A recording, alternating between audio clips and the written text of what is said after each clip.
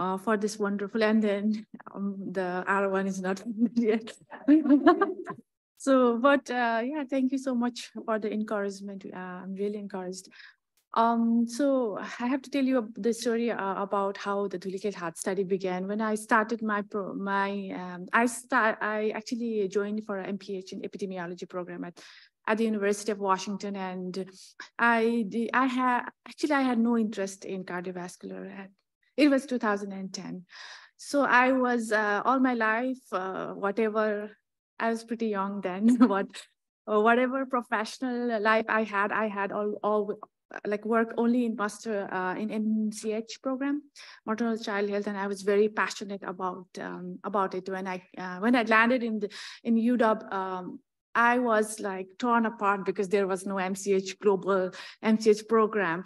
And then I had to choose between doing MCH in US or anything that is available in Nepal. So I chose anything that is available in Nepal. I bumped into Annette in our SPH, um, there, there used to be like, I don't know if it is still existing, there used to be a faculty uh, student interaction uh, expo in uh, School of Public Health where I uh, bumped into um, Annette and then she had this poster on uh, cardiovascular research that she had recently done in Nepal. It was uh, in a small sample and I used that for my thesis. And that's how my career in CVD research began and I'm still stuck to it. Uh, so I was like really impressed with what Alfred has been doing, uh, which uh, now recently I am extending my um, research area into the maternal child health and CVD intersection. That was going to be really uh, neat. Um, so when we so when we were so Biraz came in after after a year, and then I had not faced any tornado like that before. So he was, he comes in and he has always big plans. So if any of you has known and we were talking about, so I had just analyzed uh, food um, uh, um, data in the small study, and then we were trying to expand it to a larger study. And then Biraz comes and it, it, it was actually his idea to do a cohort study. And he says, let's do a cohort study and then we'll call it Dhulikhel Heart Study, just like Framingham Heart Study. And I was like, you are don't talk to me ever because I want to finish my dissertation. I don't want to start any cohort study right now. Uh, but yeah, I think uh, I think we both are really grateful to Annette for believing in us because we were like first year a PhD student, and then we uh, we both went to Annette with this idea. We want to start the study that will eventually be a cohort study, and she immediately bought us. And now I realize it was hard, Annette, for uh, for you at that time, because uh, I didn't have context still. And now I have so many students who come to me with all these big ideas, and I'm like, okay, Annette did that to us, so let's. Uh, let's do it. So that's how the story of Dhulikhel Heart Study began. Um, and then we had, uh, so Biraz I, actually I developed this long-term professional uh, relationship and then wonderful friendship because of this study uh, as well. So uh, this is very special in our uh, life. Um, so I'll start with the introduction. So I'm not going to um, like talk a lot about why is it important because we all know that the CVD has been a very instrumental health issues in uh, uh, worldwide and it impacts a lot of uh, lives all, around, all over the world. Uh, in 2010, when we uh, started, we were thinking about the study. There was no publications from Nepal yet, even not reporting the hypertension prevalence. So it was very new concept at the time. There was one study that talked about trends in cardiovascular health in Nepal, and it was an opinion paper. So I, I think this was the one of the first um, CVD related studies uh, that were initiated in Nepal.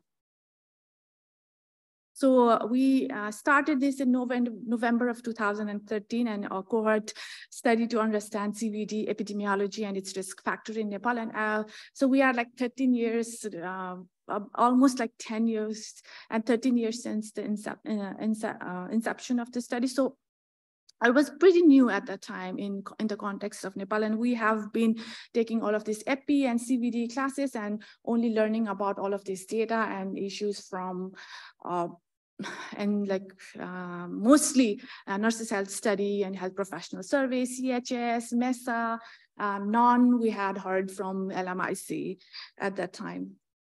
Uh, so the main uh, objective was to gain an in-depth understanding of CVD epidemiology and its risk factors among urban Nepalese uh, population. We wanted to look at uh, mortality, um, esti estimate mortality rates for NCD and more estimate the prevalence and incidence rate for major NCDs. And we um, we started with like CVD, but we also like uh, integrated more mental health and cognitive uh, functions um, into it. And then we were looking at both modifiable and non-modifiable risk factors. This is only the limited number of risk factors that I've put in the slides. Um, and then we are continuously expanding. Um, this is uh, this was conceptualized as a longitudinal prospective cohort study. Uh, thanks to Biraz for this uh, in the Dhulikhel municipality and planned for uh, follow-up every five years for 20 years follow-up of the participant. And note that we didn't have any funding at that time when we started uh, vision and we had this big vision. But then we were able to get some funding over the time for the study. Um, but then we were we got bumped with all of these natural calamities. When we wanted, when we were planning our first uh, follow up uh, into 2015, we had an earthquake. Uh, so we had to like push that agenda. And then finally in 2018, we actually even hired a study coordinator to do the follow-up. And then the COVID came in and then we had to stop it again. So soon after uh, COVID, um, uh, we then and then that study coordinator left uh, with two other job. Uh, and then um, soon after the COVID, we were able to uh, restart uh, enrolling uh, people into it and then started the following up our uh, cohort that we started in 2013. Um, the, the study population were all the residents who were 18 years and older uh, living in the Dhulikhel municipality. At that time, we were estimating about 9,000 uh, people. Um, and uh, they had to be 18 years or older, permanent residents of the Dhulikhel and living in the Dhulikhel for at least six months prior to the enrollment. Uh, we excluded everyone who was living in institutional setting like hostels and motels because this is a university um, area. So there are a lot of students who are coming in, staying there for four or five years and then moving out. We were we excluded those. Um, also, we had to exclude the mentally challenged and those who were not able to respond in the study and those who were pregnant at that time. Um, we all of the data collection happened in person, uh, and we used REDCap uh, for that. And we also did anthropometric measurement. We did blood pressure measurement, blood sugar, lipid measurement of a subset. We had uh, blood taken for about about 550 people, and we have saved that. we have frozen it. So anybody who wants to do a research in Nepal, we have a blood sample frozen uh, among our subset. Um, and then we used multiple questionnaires like socioeconomic status. Uh, we used global physical activity questionnaires, uh, food frequency questionnaire that we developed together for the Nepali context. Uh, there was no any tool available to measure food at that time in, in Nepal. And um, now a lot of researchers have used this, this FFQ that we developed uh, and validated. Uh, we measure medical history, MMSE, digit span, uh, substitution task tests, perceived stress, uh, we did PHQ-9. We also did uh, CSED in our first wave, actually. Uh, and then we also have a social support instrument uh, knowledge, uh, and then other um, women uh, reproductive health related variables. we measured height, weight, percent body fat of our of subset population, waist and hip circumference, blood pressure, and then lab test for about half of the people that we enrolled in the first wave. Uh, so recruitment happened house to house contact uh, in house. So initially what we did was we enumerated all of the households in the municipality. Uh, and then because we were also under pressure to finish our dissertation in, in, in a certain given time, uh, the first enrollment, for the first enrollment, we randomly selected a third of the household population. And then we went to each of these households to enroll the participants. So the research assistants will, will go to each household. Actually, we have a GPS location of all of the households uh, from 2013. Of course, now it has uh, grown a little bit, but we do have that information. Uh, and then uh, we and the research assistant uh, took the written informed consent because there is a lot of illiterate population. We also did uh, informed consent in presence of a witness and the witness would sign uh, and then um, participant will give the verbal, verbal consent. We recruited about 1,078 participate in 2013, and that was the base for both of us, both of our dissertation. Um, and then we have we have been recruiting since uh, 2022. So we have recruited additional 903 participants, uh, like 15 days until 15 days before this today. So and then the enrollment is ongoing. So we are recruiting like about uh, uh, eight to 10 participants every day. It is pretty in intensive because we have to go to every household. Interview is about two hours long. And when you talk to Nepalese people, it is very difficult to wrap anything into hours. so the interview kind of keep going. So one person is only able to get at least two or three interview per day. Um, and then this is the characteristics of our participants. Uh, in the baseline, you can see that this is a representative of the whole community because the sample was random. Um, uh, about um, the um, average age was about 40 years. Uh, and now they have turned, and then we have followed up 314 people so far, and now they are 10 years older, of course. Uh, but the new wave is also on an average 44 years old. Uh, major ethnicity is Newar because that community is predominantly a Newar community. It's a specific um, ethnicity in uh, um, in certain parts of Nepal. Uh, Dhulikhel is one, and Kathmandu is another, uh, where um, both me and Biraz are Newars. Rashmi and Pramita too. Not these two. Um, uh, so you can see that about about a third of population didn't have any formal education. Mean years of education was only 6.6 years. Um, and looking at annual income, uh, this is of the participants, uh, about like 8,873 uh, and then uh, in the follow-up, uh, this has increased significantly, I guess also because uh, because of the mean age has also increased. So many of them are now in uh, employment. Uh, the new recruitment in the new uh, wave two, new recruitment, the mean um, annual income is nine about $950. Um, most of them are married and uh, most of them uh, are Hindu, which is quite representative of the country. Like most of the country would represent it, like identify themselves as a Hindu. So these are some of the early publications that we did from our uh, first wave. Um, uh, we published a lot on hypertension, tobacco, like we did uh, awareness treatment and control of hypertension in Nepal, uh, pre-hypertension and its risk factor.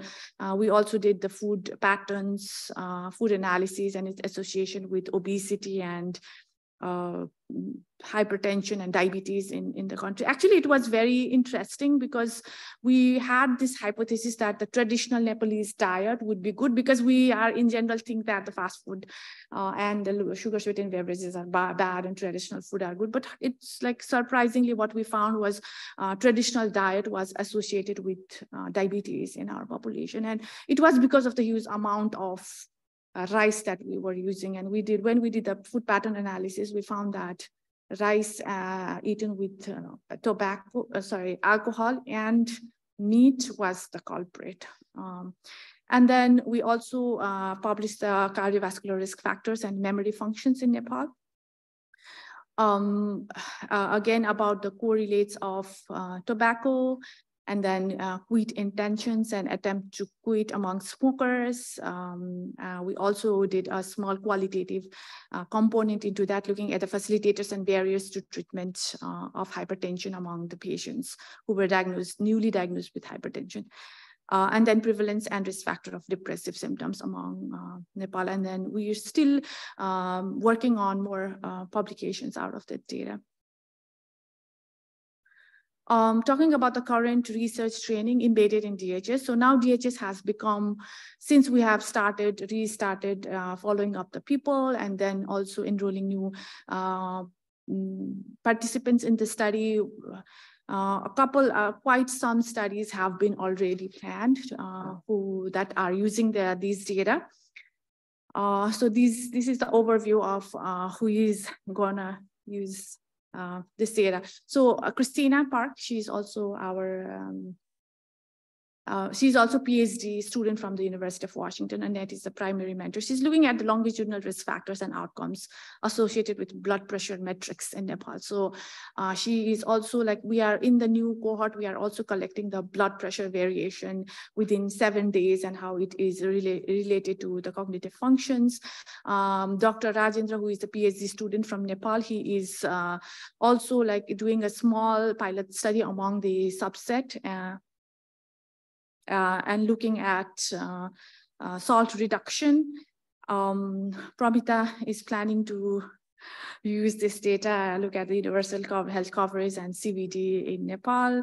Uh, we have another student from our university, Pushpa, who is looking at, oops, sorry, she's looking at social support and quality of life uh, among um, hypertensive Neha and Biraz is already is graduating. She will uh, hear their presentation tomorrow.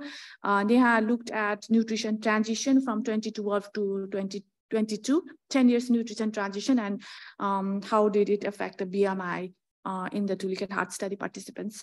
Biraz has also looked at cardiometabolic uh, risk factors among rural and non-rural adults. So he used uh, rural, uh, non-rural adults um, participants from Dhulikhel compared it with another study uh, that used rural participants. Rashmi is going to use social determinants and control of hypertension um, among participants of DHS. And uh, we have another student in our university is going to use uh, look at pesticide use and hypertension in this study. So yeah, it's uh, pretty comprehensive. And I didn't mention one, one of the Yale students, she just analyzed the, the data for her thesis. She looked at uh, parity and uh, um, BMI among female participants, and there was a very significant association between parity and BMI. This is the research stream at the ground. And I should mention, Pramita was the first study coordinator Uh, and we thought we would not have graduated at all. And she took care of all of the data collection at Crown. Uh, and thank you so much.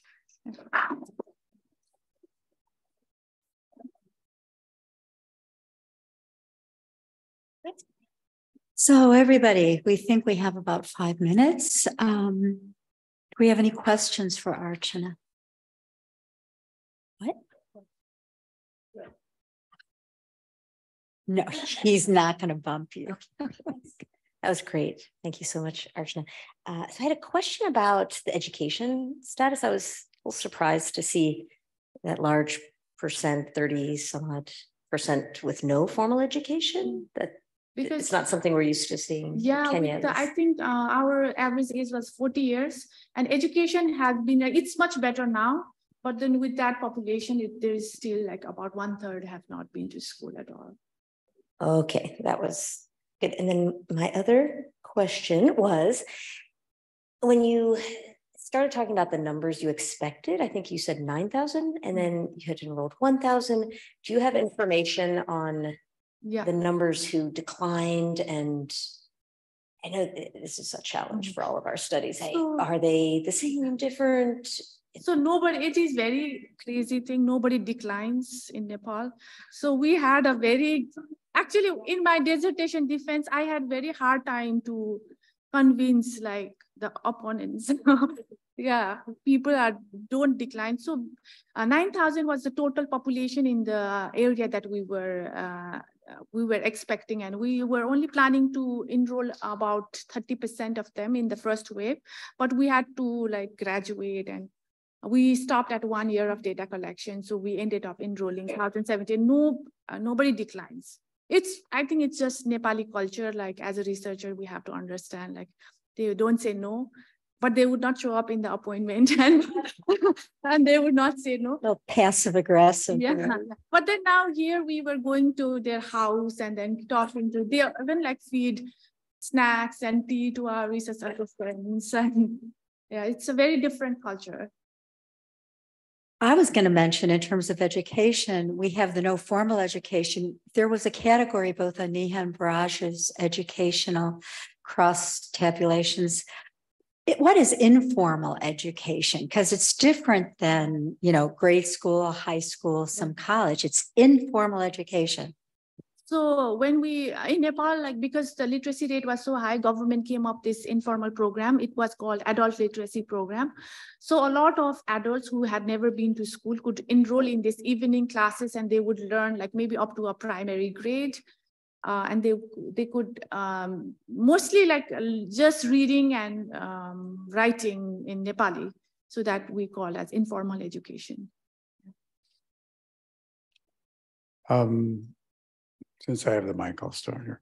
Um, fabulous presentation. I really like the way you you gave us an overall sense of what's going on and some of the studies that are happening. And you know, a huge congratulations to you and Biraz for making this. I mean, this is incredibly unusual worldwide. Um, couple of questions. One, I mean, well, one comment is that um, the kinds of information you're collecting uh, includes an amazing amount of stuff around the social determinants. Yeah. and I didn't realize that uh, until I was looking at your slide. And so it does seem that you could, you know, there are just huge numbers of things that you can do um, in addition to what you're doing already mm-hmm. that um, I suspect, you know, some of your Rashmi and others are talking about. My question is a little bit along the lines of what uh, Carrie asked, but slightly from a different perspective, which is that um, you started with about a thousand, you know, in 2013, a little over 1100. And then your follow up was 300 or, or so, 314. So that's about 30 ish percent. Um, do you have a sense uh, for what the follow up, uh, the, the, reasons for loss to follow up, the proportion that you, uh, presumably the follow up the actual follow-up probably includes deaths, right? And so loss of follow-up is you don't know. So the question is you probably can figure out the reasons by looking at the characteristics of those people who didn't follow up. So do you have an idea of the reasons for follow-up, loss of follow-up? And then secondly, how does your follow-up uh, compare to say the Framingham heart study? Uh, because it's always very hard to follow up people, you know, and my guess is it's a lot easier in Framingham than it is in Dhulikhel. So just kind of curious about your follow-up challenges. Yeah, so it has been challenging. So the first effort that we made in the follow-up was we are still still following up. So this is not the end number. Um, so we called all of the participants uh, that we had phone number from 2013 and uh, most of those we could not contact it because the number is not working right now. So that our second strategy is to now use our GPS location and go to the household. So we have not done that yet. So that's why I'm saying it's not the um, end number. So we are hoping, so we have not been able to contact other people through telephone only right now, but now we are going to the locality. Yeah. Actually, I don't know about the Framingham school. Well, I could CHS because I was involved in CHS, um, which is four sites in the United States. Because we always got a proxy person who knew the person. When we couldn't contact them, we had someone else to call. But we were about, we, lost, you know, 80, 85%, even over 20 years uh, we recruited in 1989 90, and we still are people over age 65, and we still have about 100 that are still living. And um, it's so much easier in the United States, and I do think it's the ability to find them. Mm-hmm. They you just couldn't find them. It's just we the phone number was not working, so we are now we need to go to the household. Uh, we do using. Yeah, yeah, yeah, yeah. I think they will find more. Yeah. I know they will. I am very hopeful. Yeah. She's persistent. and then we also have, as Annette said, we also have uh, phone numbers of three proxies that we haven't uh, called them yet because we just started like nine months ago uh, to new enrollment and follow up. So we are on our way. You guys want to add? And then we have to get Nana started on her presentation. So uh, just a quick question and comment. First of all, a testament, you know, to you're never too young to do great things. You know, you started as as PhD students, and uh, look what you guys have uh, accomplished, especially when you have great mentors. Um, just a curiosity, uh, I noticed that the people you followed up, and I know the reason, big reason you haven't followed up is you just got this started. You've started with just phone phone calls, etc. But it was really interesting that the people who successfully followed up, their annual income is like 2000 something Yeah, yeah. as opposed to 700.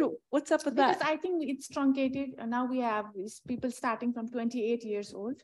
Because in, when they were enrolled, they were like the I think it's gonna be short. youngest was eighteen years old. Now we have youngest who is twenty-eight years old. So that might be the. So it's uh, just a comment from my side. So when the Dhulikhel study was conceived and started, uh, there were three objectives. And uh, one of the objectives was to create a platform for training in epidemiology and others. And I still remember in one of the slides, know, it was explicitly written that we wanted this to happen so that in future, it would serve as a training opportunity. And what Archana is doing now is exactly like that. As several of our master students are doing, and now I think there are some Fulbright, like US students are coming, lots of things happening now.